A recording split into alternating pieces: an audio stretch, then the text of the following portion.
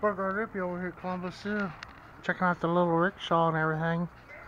But they have these, I'll, I'll just call them uh, mountain goats over here.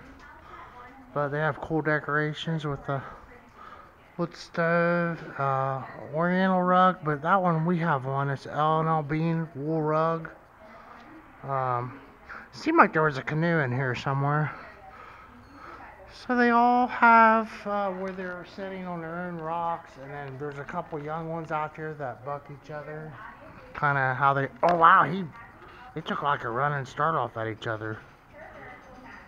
So I'm afraid here comes some people, but yeah, there um. There, there's a buck over here. Pretty good display, and this is a food pantry. But there's the the bucks over here. See how the decoration. So he's just, now he's taking a breath. He's got this spiral horns on him. Maybe you can see the other ones too, I don't know.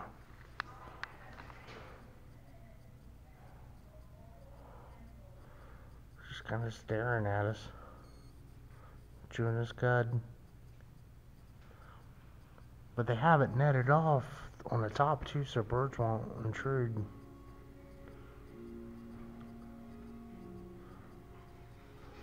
See if there's any tigers over here.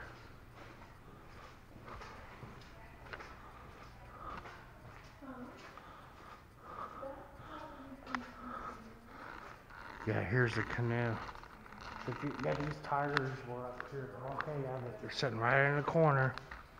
Ah, this tongue out. Pretty thick glass. He's got his little burlap sack a Bengal tiger, we'll call them. But yeah, they come right up here. Hard to get them with a little action camera. So I think I'm reading where these are really rare, even though we see them all the time. They just